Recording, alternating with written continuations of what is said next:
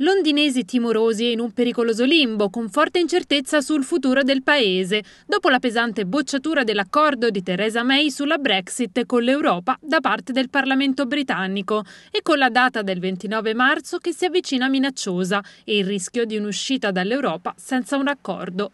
La gente di Londra, città che aveva votato al 60% per restare nell'Unione Europea, è divisa tra chi spera ottimisticamente in un nuovo referendum e chi invece teme il peggio.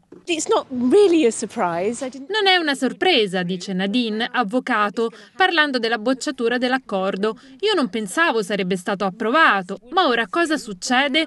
Forse, come io spero, ci sarà un secondo referendum, che in ogni caso penso sarebbe la scelta migliore. Pessimista invece Patrick, socio di un'azienda. Io credo che ci sarà un'uscita senza accordo e che avremo difficoltà economiche per i prossimi 4 o 5 anni, ma è un segno dei tempi, una decisione che hanno preso i cittadini. Io non sono d'accordo, ma questo hanno deciso, anche se credo proprio che avremo problemi. C'è poi chi è completamente sfiduciato, come Browner, Corriere.